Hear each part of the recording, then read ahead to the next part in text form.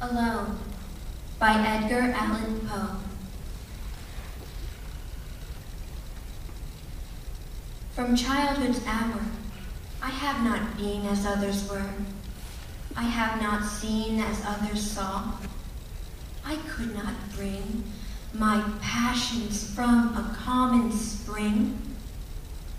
From the same source, I have not taken my sorrow. I could not awaken my heart to joy at the same tone. And all I loved, I loved alone. Then, in my childhood, in the dawn of most stormy life, was drawn from every depth of good and ill, the mystery which binds me still.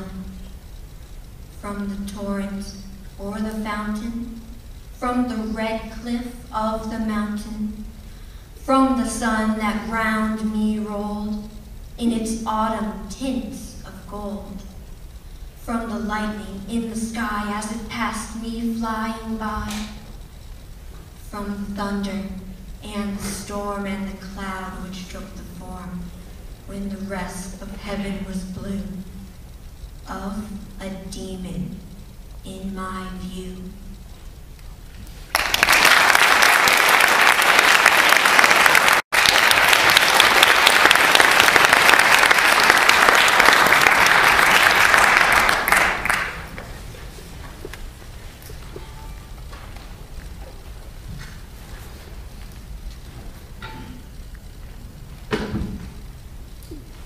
Monsieur's departure by Queen Elizabeth I.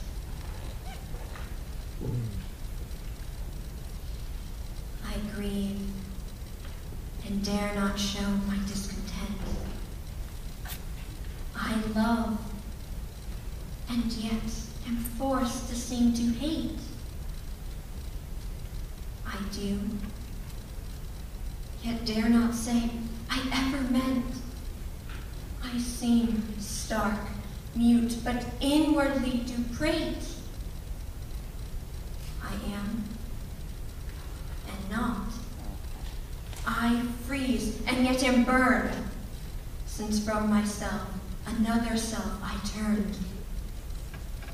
My care is like my shadow in the sun,